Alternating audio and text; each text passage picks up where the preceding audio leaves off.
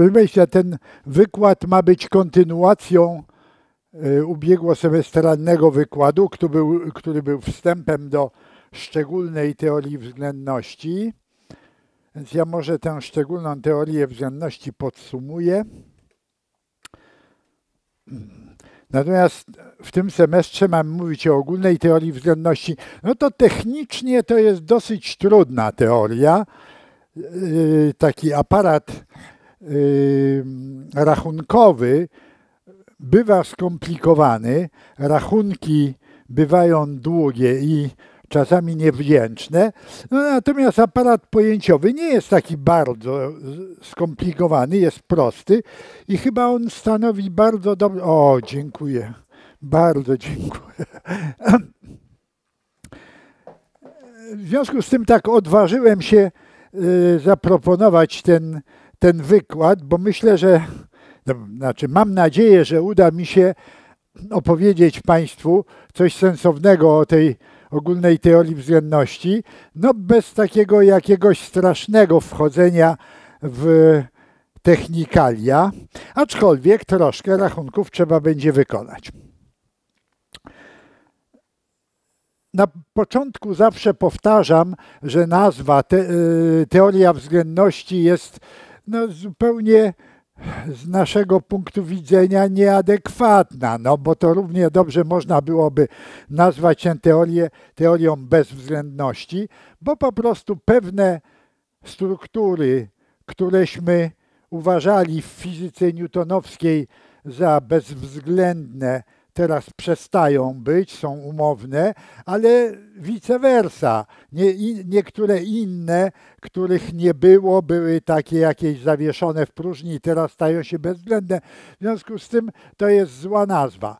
Y, ta nazwa jest związana z taką modą intelektualną, która panowała na początku XIX wieku, XX wieku, prawda?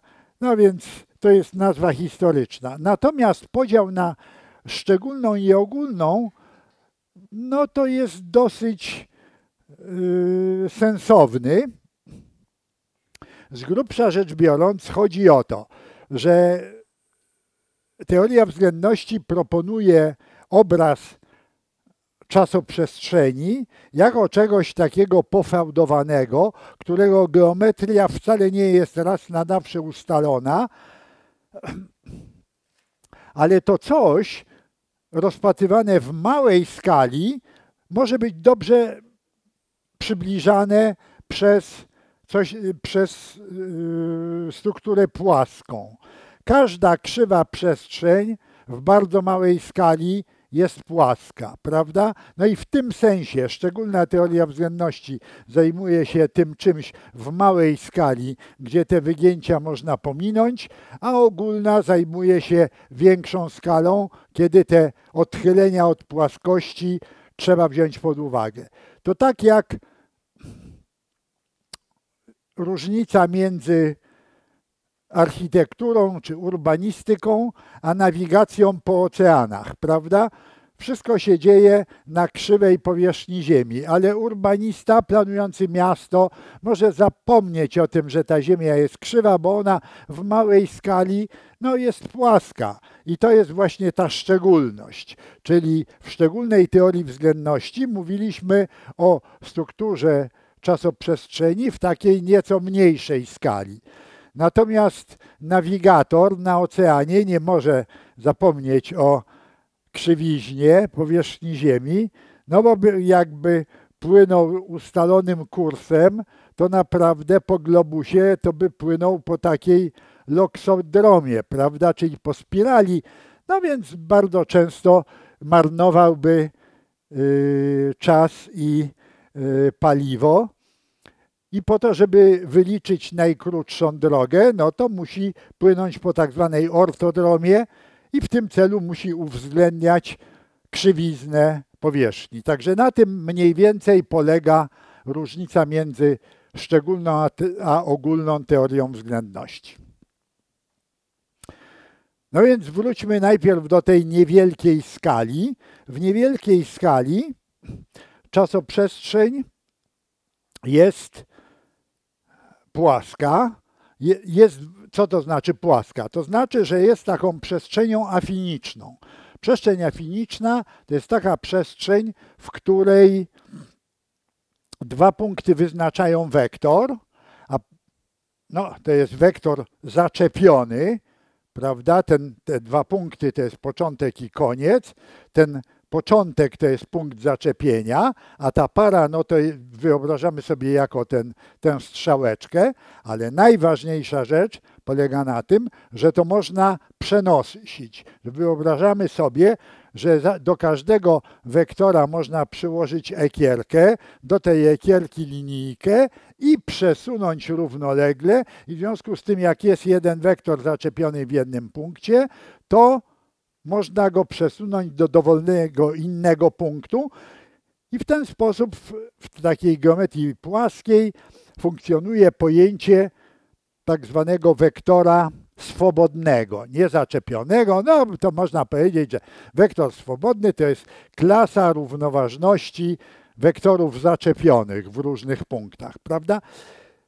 Wszystko to mm, ładnie matematycznie zostało zebrane w taką aksjomatykę przestrzeni afinicznej w XIX wieku. No i wtedy mówimy, że te wektory swobodne stanowią przestrzeń wektorową. Co to jest przestrzeń wektorowa? No to my teraz się uczymy na pierwszym roku, wiemy, prawda, wektory. Przestrzeń wektorowa to jest yy, taka taki zbiór, w którym określone są działania, prawda, i najważniejsze to jest to, że to, działanie dodawania wektorów jest przemienne. To jest takie prawdziwe dodawanie, prawda? To dodawanie wektorów sobie wyobrażamy w ten sposób, że wektor, o ile wektor swobodny to jest para punktów, y, przepraszam, wektor zaczepiony to jest para punktów, to wektor swobodny warto sobie wyobrażać jako element grupy transformacji, to znaczy takie przesunięcie. Wektor swobodny w przestrzeni afinicznej to jest jednocześnie wyznacza transformację polegającą na tym, że wszystkie punkty przesuwamy o ten sam wektor, prawda?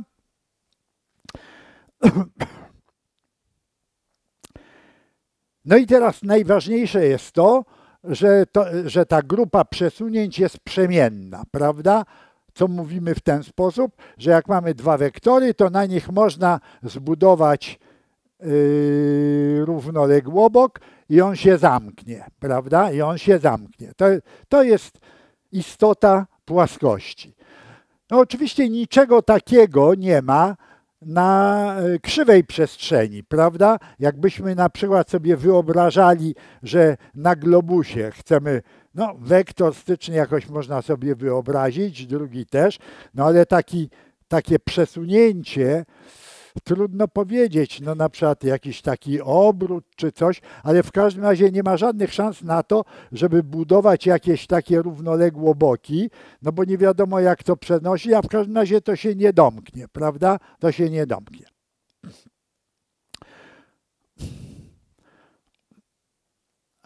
Natomiast zawsze będziemy sobie wyobrażali, że czasoprzestrzeń jest rozmaitością różniczkowalną, tak jak to obecnie się mówi w matematyce.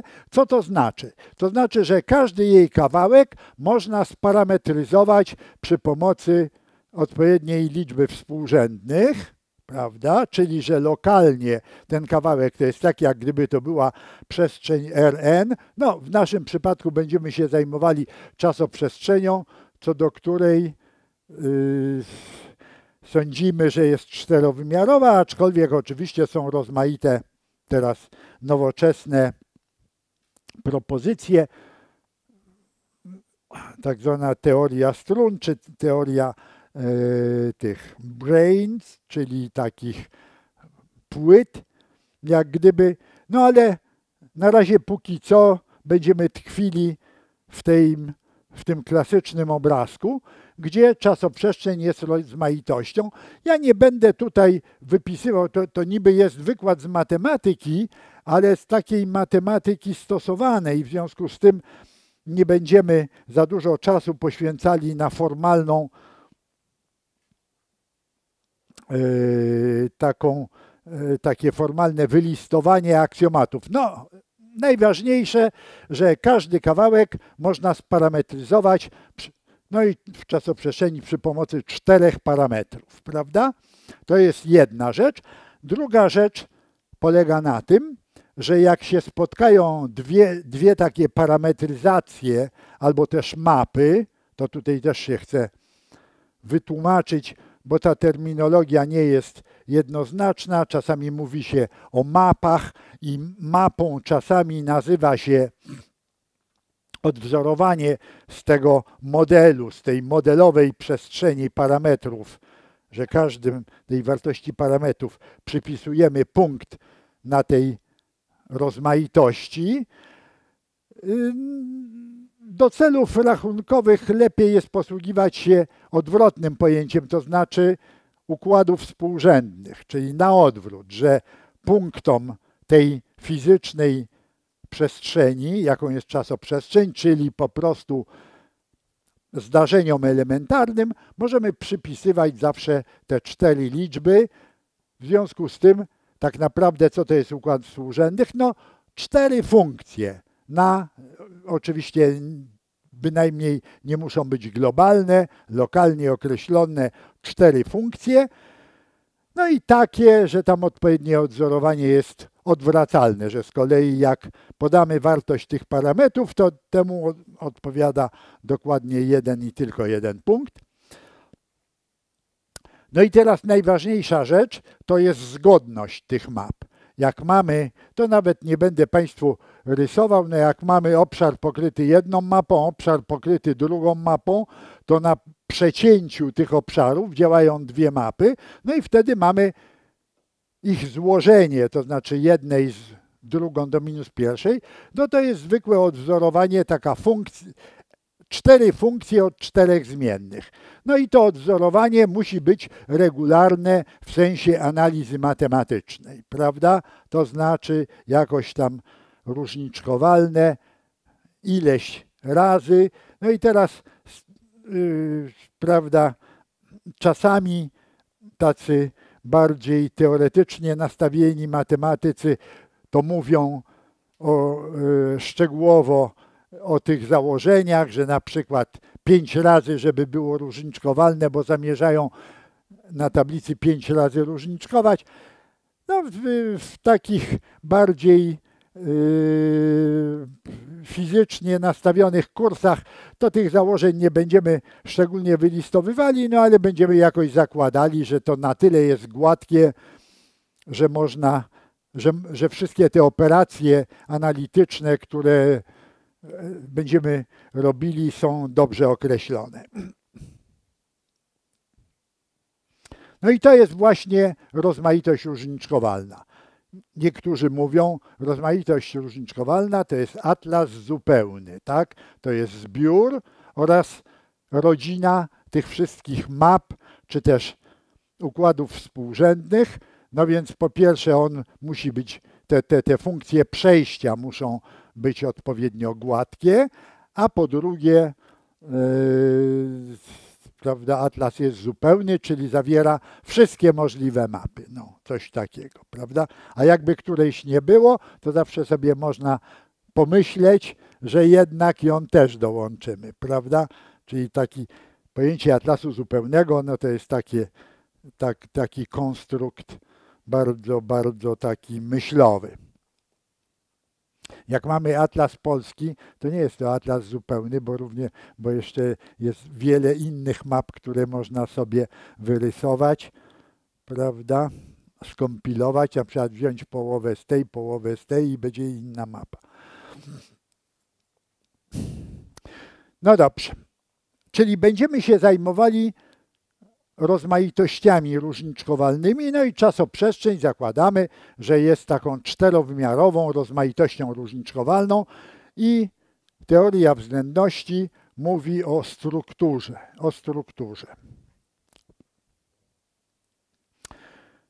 Teraz my tę strukturę odkrywamy tak powoli, prawda? Jak już powiedzieliśmy, najpierw tak jak strukturę powierzchni naszego globu odkrywaliśmy powoli, prawda? Najpierw nikomu nie przyszło do głowy, że to nie jest płaskie, no bo widać, że jest płaskie, prawda? Jak się zaczynamy dalej wyprawiać, no to widzimy, że, prawda, jak pływamy już nawet w takiej skali jak Morze Egejskie, po którym pływali Grecy, no to widać, że to jest krzywe, prawda? Jak się odpływa od góry, na przykład góry Atos, no to widać, że to zakrywa ją tak od dołu, prawda? Że już szczyt widać. Ja mam w oczach zawsze w Rydze, jak się dopływa do Rygi przez Zatokę Ryską, to tam jest taka bardzo wysoka wieża telewizyjna i też na początku zawsze widać tylko jej kawałeczek, potem więcej, potem więcej. No i widać wyraźnie, że to jest krzywe. Także Grecy nie mieli, mądrzy Grecy nie mieli wątpliwości, że Ziemia jest krzywa. Nawet y, obliczyli bardzo dokładnie jej promień. Znaczy taki był uczony Eratosthenes, który około 200 roku przed naszą erą bardzo dokładnie zmierzył rozmiary Ziemi. Do tego stopnia dokładnie zmierzył, że jak Kolumb aplikował o grant królowej y, Izabeli, który by mu pozwolił wyposażyć okręty i opłynąć prawda, ten, od, tę ziemię od drugiej strony, to uczeni z Salamanki bardzo słusznie powiedzieli, że to bez sensu zupełnie, bo on umrze, bo ziemia jest duża, a on myślał, że ziemia jest trzy razy mniejsza niż tak naprawdę była. A oni pamiętali o tym wyniku Eratosthenesa i wiedzieli, że się tam do tej Azji nie dopłynie w trzy miesiące, tylko to trzeba płynąć, prawda, tam e, z dwa lata. No a on myślał, że nie, nie, jednak to jest mniejsze, prawda? No ale w końcu królowa jednak dała mu ten grant, no i dzięki temu, dzięki temu odkrył Amerykę. No dobrze, to teraz może pozwolę sobie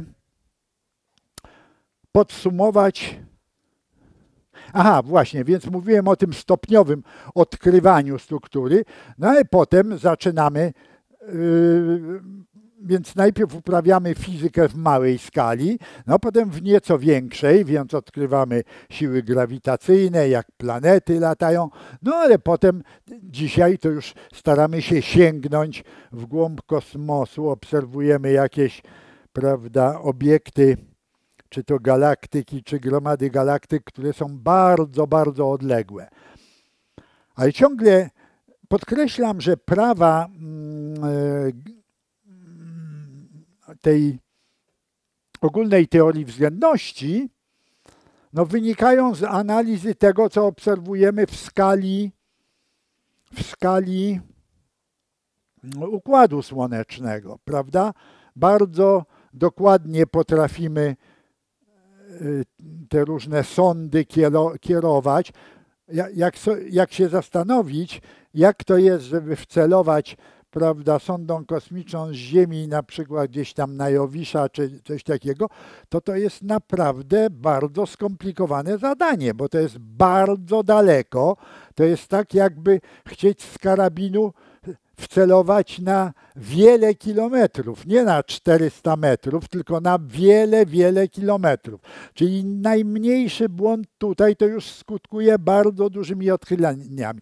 A mimo to jesteśmy w stanie to zrobić. Te sądy doskonale trafiają, wykorzystują też rozmaite takie efekty, o których może, powiemy, żeby zaoszczędzić paliwa, żeby jak najwięcej pochuśtać się na tym, na tej energii, którą można z grawitacji wyciągnąć. To wszystko jest bardzo, bardzo zmyślne i opis pola grawitacyjnego w postaci mm, takiej, jaką proponuje teoria względności, jest no znakomity, no naprawdę, naprawdę znakomity. Możemy być dumni. Możemy być dumni. Oczywiście my,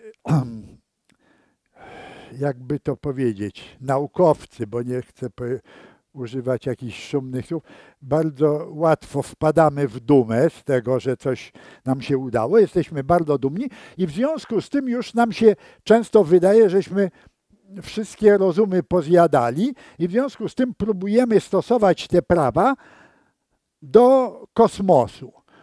No i tutaj spotyka nas rozczarowanie, bo kosmos jest dużo większy. No trzeba tak powoli, powoli e, ekstrapolować. I przy każdym takim przejściu do dużo większej skali trudno jest oczekiwać, że to, co wiemy o mniejszej skali, okaże się już ostateczne i, i, i, i niezmienne, prawda? No trudno. W związku z tym te wszystkie dylematy związane z tak zwaną czarną energią, czarną materią i tak dalej, no one są takie trochę, prawda? Można się trochę z tego naśmiewać w następujący sposób. To znaczy, ja się nie naśmiewam, ale to można by sobie było tak powiedzieć, że wymyśliłem sobie kiedyś taką bajeczkę, którą swoim wnukom opowiadam, jak, opowiadałem, jak mnie pytały o tym, co to jest czarna materia. Państwa, wyobraźmy sobie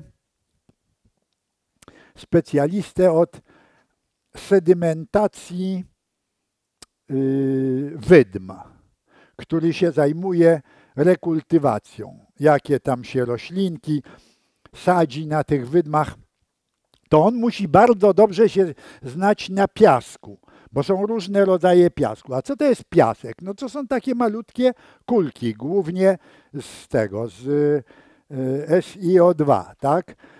No i jest piasek taki, że te kulki są bardzo gładkie, bo są, no to tam trzeba sadzić inne rośliny, a są takie chropowate, no to tam inne rośliny.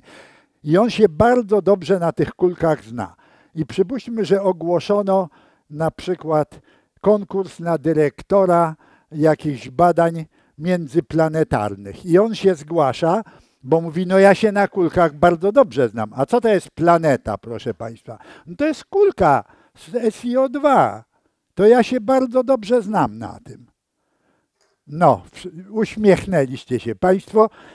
No właśnie, dlatego że to jest kulka w zupełnie innej skali. Także próba przeniesienia bezpośrednio tego, co wiemy o grawitacji w tej skali na, na wiele, wiele rzędów wielkości więcej, no na pewno jest związana z jakąś bardzo dużą, dużym niebezpieczeństwem. No ale, ale jak chcemy rozumieć, no to musie, musimy, musimy się starać jakoś ekstrapolować tę naszą wiedzę i nie zrażać się, jeśli to nam nie pasuje, tylko co robić, proszę Państwa? No iść w głąb tego, co, co rozumiemy, bo z punktu widzenia eksperymentatora, to co można powiedzieć o szczególnej teorii względności?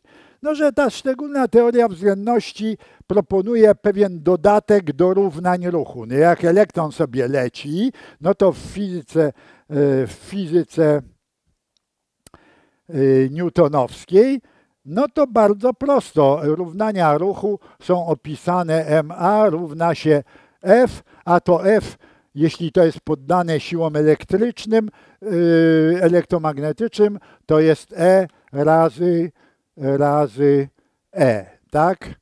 Państwo powiecie, a nie, tu jeszcze powinna być siła Lorenza, ale powiedzmy dla małych ta siła Lorenza była później, później odkryta, więc przypuśćmy, że startujemy z tego poziomu, z tego poziomu, prawda? Więc można powiedzieć, że z punktu również ta siła Lorenza oraz to, w jaki sposób tutaj trzeba zapisać tę lewą stronę, można, można podsumować tak. No, wszystko polega na tym, że to jest pierwsze przybliżenie, a jeszcze do tego trzeba popraweczki, popraweczki, tak? Ale teoria względności jest czymś dużo poważniejszym, bo ona proponuje pewną strukturę taką, w której pewnych wzorów nie można pisać.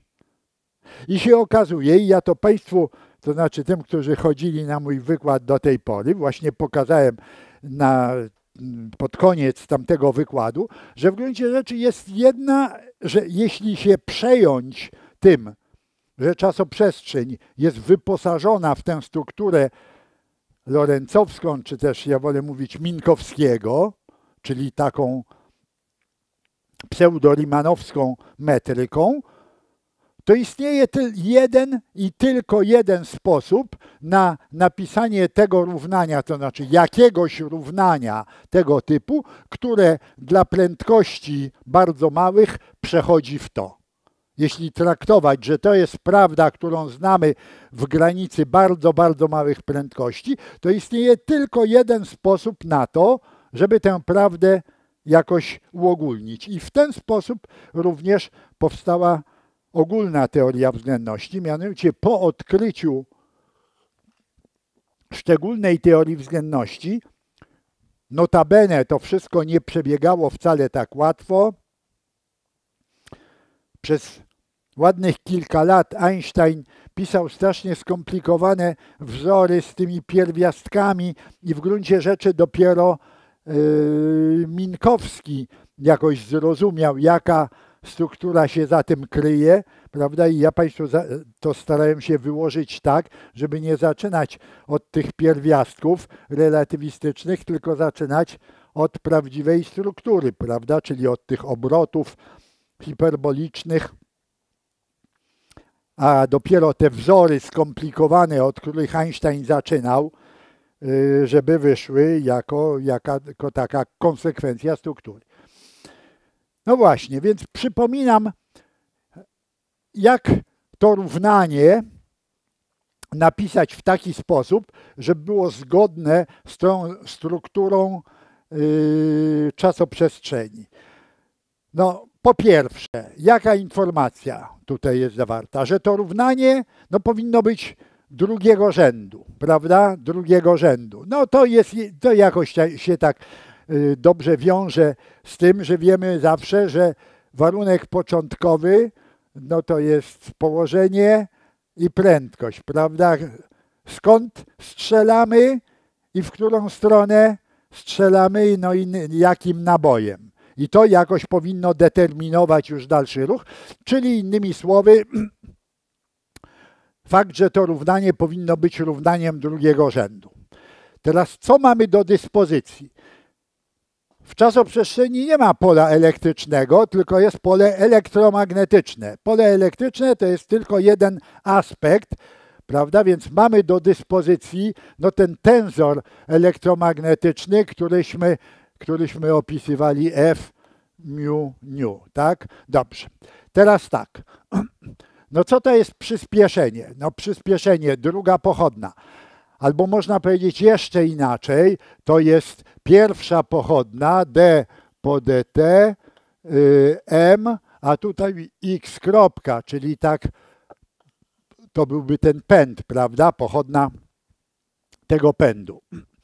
Więc po pierwsze, no trzeba wiedzieć, co to jest czas. Nie ma czasu absolutnego, tak? Nie ma czasu absolutnego. Jedyna rzecz, taki parametr wzdłuż tej krzywej to jest ten czas własny, no bo nie ma innego. Nie można napisać równania, które by zawierało czas laboratoryjny, bo z innego punktu widzenia już ono by inaczej wyglądało, tak? Czyli nie wolno używać czasu laboratoryjnego, trzeba używać czasu własnego. No dobrze, teraz tak, to coś. No co to jest? No tutaj tak samo, no to jest jakiś wektor styczny, tak? Wektor styczny więc jak mamy yy, yy, tę trajektorię opisaną w ten sposób, że w, w laboratoryjnym układzie w ten sposób, że yy, czas x0, ja tutaj stosowałem taki, taki zapis, że stosowałem czas liczony w takich samych jednostkach jak położenie, to znaczy, no, prawda, to jest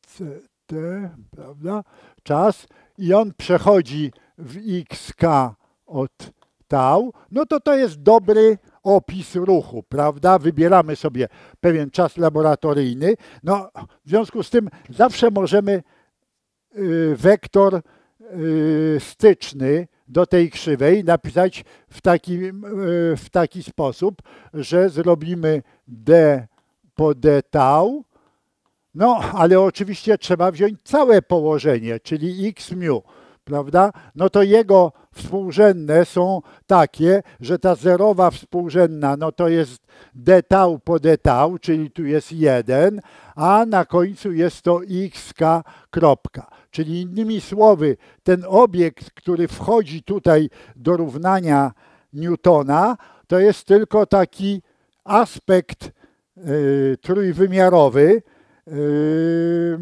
czegoś, no co zasadniczo jest obiektem czterowymiarowym. No i jest oczywiste, że, to, że ten obiekt, który nazywałem V y, mu, no nie jest dobrym obiektem, bo jego wybór zależy od y, wyboru tego czasu, czyli układu odniesienia.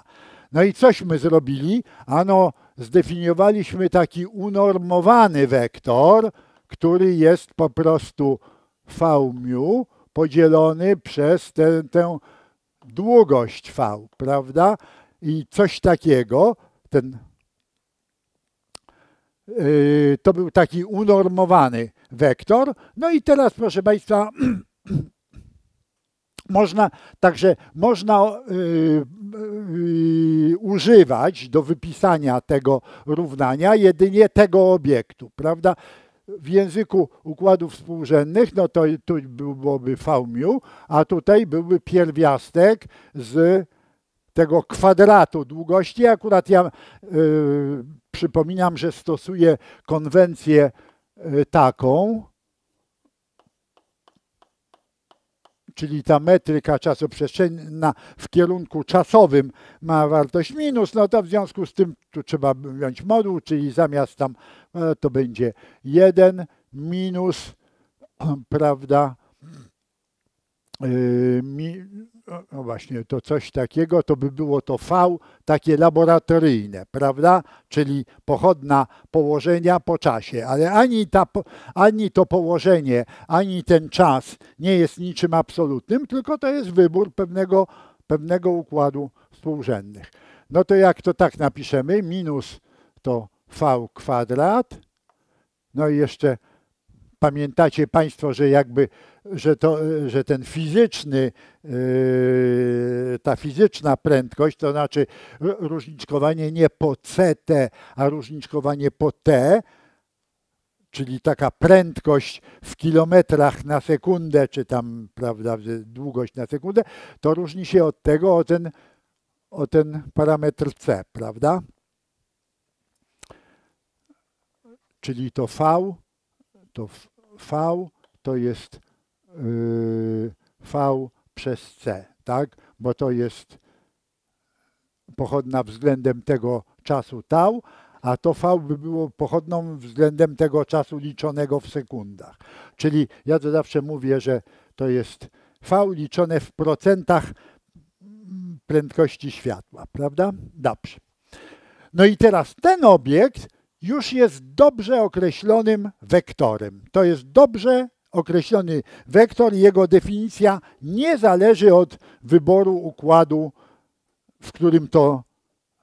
Oczywiście jego współrzędne zależą, ale yy, to jest ten sam obiekt, prawda? Jak zmieniamy układ współrzędnych, to jego współrzędne się zmieniają, ale on się zachowuje tak jak wektor. Czyli mamy prawo używać tego obiektu, prawda? No właśnie. Czyli innymi słowy, no tutaj jako pęd nie możemy używać trójwymiarowego obiektu, tylko musimy używać obiektu czterowymiarowego. No i jeśli to ma być masa razy prędkość, no to na prędkość nadaje się tylko to, prawda?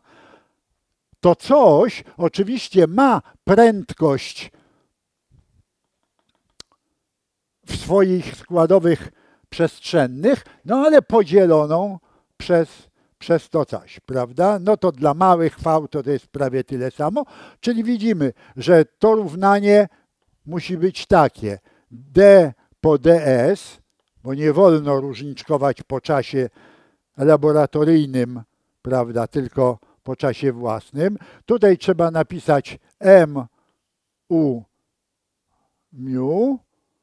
No i teraz, cóż, wziąć to u mu, wziąć to f, yy, na razie nie ma równości, mu, nu, pomnożyć przez e, no i teraz chciałoby się przyrównać te dwie rzeczy. No tyle tylko, że jeszcze to ma wskaźnik na dole, a to ma na górze, no to jeszcze trzeba mu opuścić wskaźnik przy pomocy tej metryki i w końcu to równanie wygląda tak. No i to jest dobre równanie i nie ma innego, proszę Państwa. No i teraz widać, że gdy prędkość jest bardzo mała, to, to u mu dla małej prędkości to to jest 0, czyli to jest po prostu 1, a, po, a przestrzenne składowe są 0, w związku z tym yy, tutaj wchodzi tylko F0 new, a to jest równe właśnie E i to przechodzi właśnie w tamto. Wszystko to omawialiśmy dokładnie na poprzednim tym. Yy, na, na ostatnich wykładach poprzedniego kursu. Ale chciałem Państwu podkreślić, że jak już rozumiemy strukturę czasoprzestrzeni, no to nie bawimy się w zgadywanie, ile Pan Bóg jeszcze tutaj, jak, jaką popraweczkę nam zarządził, ponieważ jest jedna, jeden, jedyny sposób na to, żeby to równanie podnieść do, to przybliżone równanie podnieść do rangi równania yy, relatywistycznego. No dobrze, ale teraz, proszę Państwa, takie równa nie jest dużo równań ta, tego typu, bo cały cymes tego równania polega na tym, że ponieważ to jest wektor o stałej długości, to jego pochodna jest doń prostopadła, prawda? Bo to m to jest stałe. W związku z tym, jak weźmiemy d po ds iloczynu skalarnego u z u, no to jest oczywiście zero, dlatego że u jest unormowane, tak? A z drugiej strony, no różniczkowanie, no to jest z reguły Leibnica, to można na to dać, czyli to jest u kropka u, albo u, u kropka, ale z symetrii wychodzi to samo, czyli to. Czyli w związku z tym pochodna tego wektora, czyli pochodna pędu cząstki, jest prostopadła do samego pędu, czy też do, do a to też dlaczego? Dlatego, że f jest antysymetryczne, w związku z tym jakbyśmy to chcieli jeszcze pomnożyć skalarnie przez uniu, no to to jest symetryczne, a to jest antysymetryczne i to daje zero. Proszę Państwa, i to jest w ogóle podstawa sukcesu. W związku z tym, gdybyśmy chcieli na przykład inne siły, bo proszę Państwa, Newton się nie cackał, powiedział, MA równa się siła, a czy ta siła pochodzi z elektromagnesu, czy ona pochodzi z, ze sprężynki, czy z gumki, czy z nie wiem z czego innego, to on powiedział, mnie to nie obchodzi, tutaj stoi siła. No dobrze, ale nie jest wiele sił, które potrafią przejść przez tę procedurę. To znaczy, żeby napisać yy, to równanie w sposób zgodny z teorią wzajemności. No na przykład, proszę Państwa, jakby kto, yy, równanie oscylatora harmonicznego, prawda? Mamy sprężynkę, no i wiemy, no, yy, prawda, MA równa się minus x, minus tam yy, współczynnik kx to takiego równania za nic w świecie nie, nie podniesiemy do rangi, yy, prawda? No bo co to jest x? Odległość od, od yy, tego centrum. A co to jest, czyli wyobrażamy sobie, że jest jakiś, co to jest to centrum? No to centrum, no to jest, prawda, linia świata tej ściany, do której jest przymocowana ta sprężyna, która daje nam e, tę siłę, tak? No to dobrze, to sobie wyobrazimy, że to jest, że, ojej, przepraszam bardzo, Czyli wyobrażamy sobie, że to centrum, do którego ta sprężyna jest przymocowana, to jest tu, a to jest ta nasza, ta nasza e, kulka, która na tej sprężynie jest zawieszona. Tak? No i teraz co to jest odległość? Nie ma odległości między jedną linią a drugą co no, można by było powiedzieć w tej samej chwili czasu. No dobrze, w tej samej chwili czasu to jest ta odległość, ale w innej chwili czasu to jest zupełnie inna odległość. Zupełnie nie potrafimy tego zapisać. Nie ma sił działających na odległość. Ale co to znaczy? Sprężynek nie ma? No są sprężynki. A to gdyby chcieć taką, taki prosty opis zrobić, no to ja, jak, jak to? No, proszę Państwa, to już by potrzebna była teoria pola, dlatego żeby trzeba było teorię sprężynki, prawda? Jest relatywistyczna teoria sprężystości, można ją sformułować, a wtedy mamy układ o nieskończonej y, liczbie stopni swobody, dlatego że ta sprężynka nie wystarczy wiedzieć, o ile ona się globalnie wydłużyła, bo ona w każdym punkcie inaczej się wydłuża. Także oczywiście w przybliżenie nierelatywistyczne sensownie będzie działało, prawda? Że jeśli stwierdzimy, że ta sprężynka o wiele, wiele szybciej się adaptuje do takiego równo naprężonego stanu niż ta kulka, się porusza, to można bardzo sensownie tę teorię zrobić i wszystko jest w porządku. Ale uwaga, to jest układ o nieskończonej liczbie swobody i nie da się tego yy, yy, w prosty, nie, no nie da się yy, teorii oscylatora harmonicznego zapisać w sposób relatywistycznie niezmienniczy. Uff, no dobrze. No więc Einstein zaczął myśleć o. Ojej, zaraz będziemy musieli zrobić przerwę, no ale jeszcze, jeszcze dajcie mi Państwo y, y, szansę dokończyć tę myśl. Więc Einstein, jak już zrozumiał, bo można powiedzieć, że szczególna teoria względności to jest elektrodynamika. To jest nic innego, prawda? Ja wyprowadziłem całą tę strukturę z własności równań Maxwella w gruncie rzeczy, prawda? No więc jak już zrozumieliśmy, jak działają siły elektromagnetyczne, no to teraz się zajął grawitacją. No my już wiemy, że nie ma działania na odległość, prawda? Także Słońce i Ziemia nie są połączone taką niewidzialną sprężynką, to bez sensu. Już wiemy, że to musi być jakieś pole. No to wymyślmy, prawda? To polega na tym, że Słońce jakoś wytwarza pole wokół siebie, a to pole wokół siebie przekazuje informacje do dalszej części tego pola i tak dalej, i tak dalej. Oczywiście ta informacja biegnie bardzo szybko, także bardzo szybko już Ziemia się przekonuje o tym, że tutaj ją coś popycha, ale to, co ją popycha, to nie czy tam przyciąga, nie Słońce, tylko to pole, prawda? No dobrze no to, no to wiemy, że pole grawitacyjne, no jak my na to pole grawitacyjne patrzymy? No, jakiś potencjał grawitacyjny, no na przykład, na przykład, proszę Państwa, prawo Coulomba, czyli że te siły są takie jak jeden przez n kwadrat, to one odpowiadają temu, że to, że to pole spełnia jakieś równanie Laplace'a, prawda? Bo to jeden nad, że potencjał grawitacyjny to jest 1 nad r, siła jest pochodną, a to 1 nad r to spełnia równanie Laplace'a. Oczywiście to jest równanie Laplace'a równa się, no powiedzmy, jeśli sobie wyobrażamy źródło tego pola w postaci takiej punktowej, no to tu by była jakaś delta Diraka, coś takiego, no ale w każdym razie jakiś rozkład tych mas, razy masa, na przykład gdyby to miał.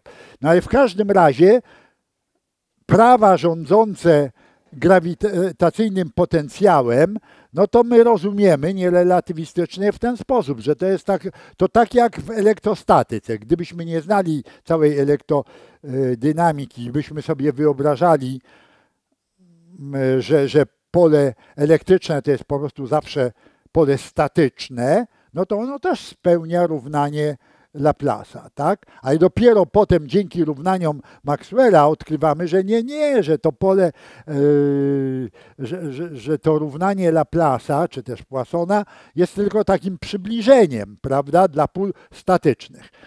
No to co z tym zrobić? No wiadomo, że nie ma trójwymiarowego równania Laplace'a, dlatego że ono by zależało od wyboru układu odniesienia, od podziału czasoprzestrzeni na czas i przestrzeń. No to tak to nie ma.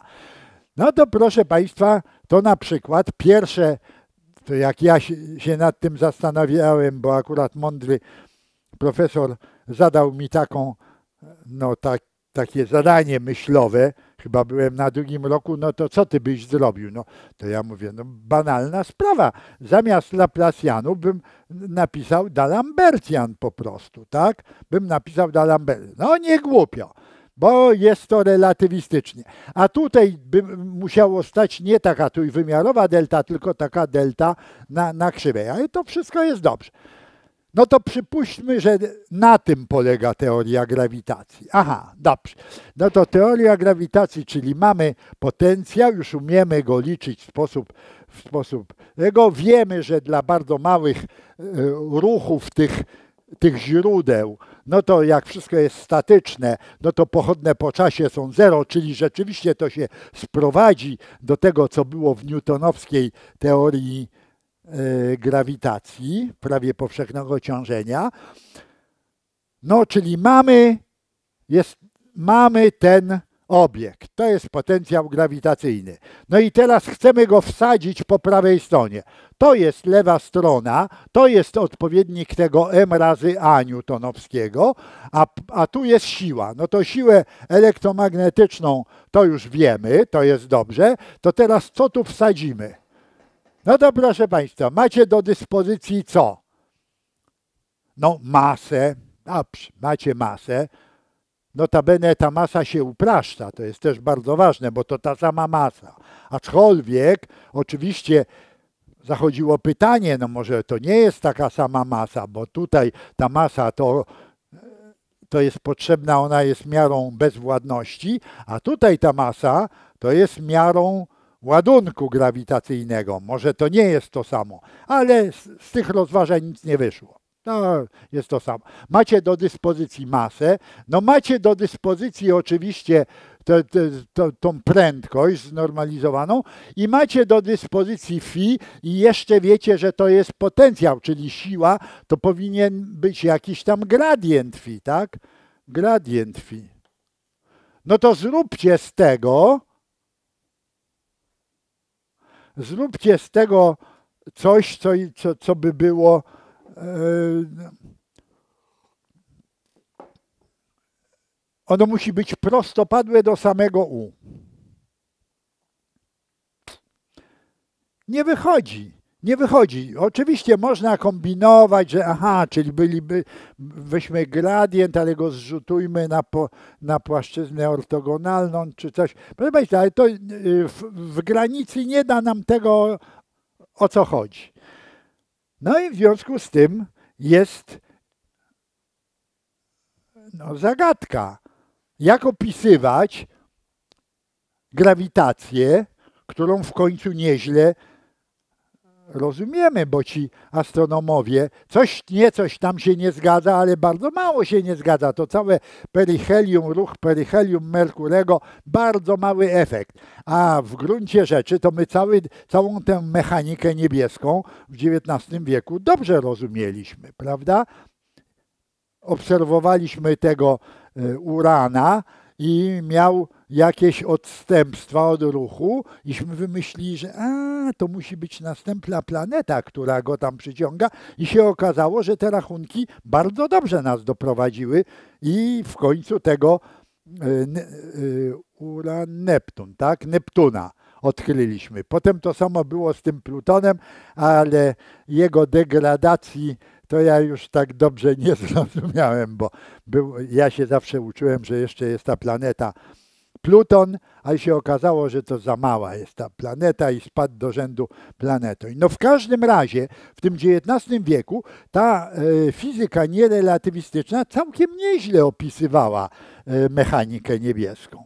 No, były błędy, więc oczywiście trzeba się zastanowić, że jeszcze jakieś poprawki są, ale generalnie to dobrze funkcjonuje, a nie potrafimy opisać tego w sposób y, no, kompatybilny z tą nowo odkrytą teorią względności, która niewątpliwie jest prawdziwa. No i Einstein myślał nad tym wiele lat, wiele lat i na taki pomysł, że grawitacja to nie jest siła. To nie jest siła. Grawitacja to jest struktura tej czasoprzestrzeni, która niekoniecznie jest płaska. To on na ten pomysł wpadł mniej więcej w 1912 roku.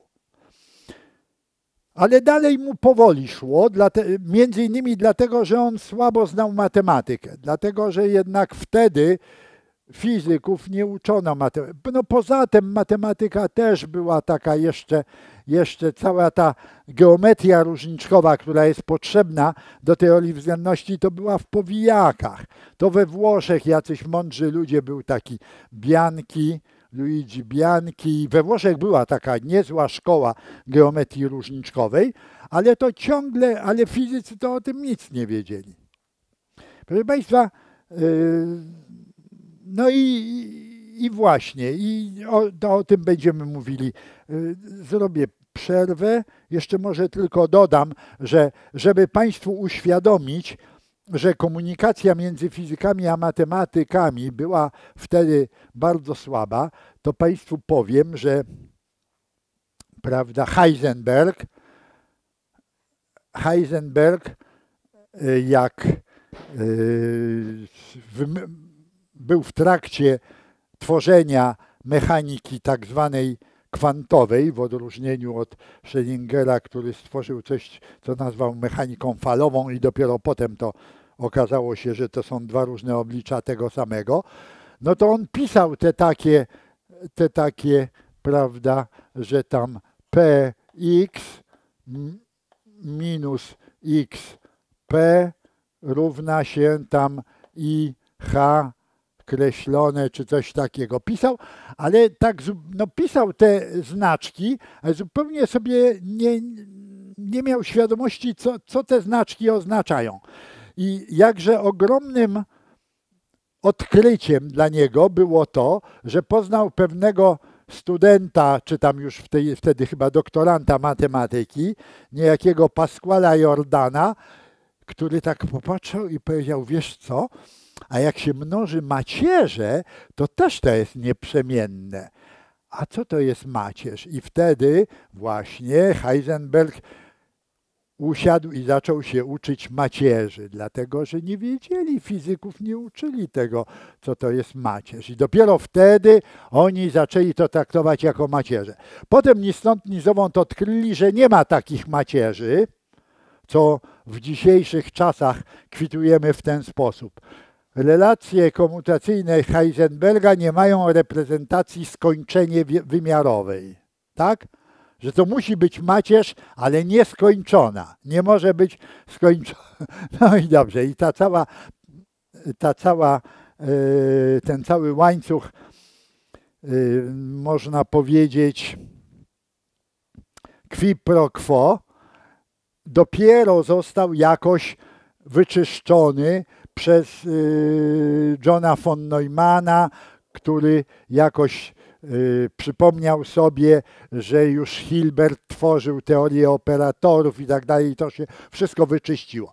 Ale fizycy bardzo mało znali matematyki, także Dobrze, robimy przerwę.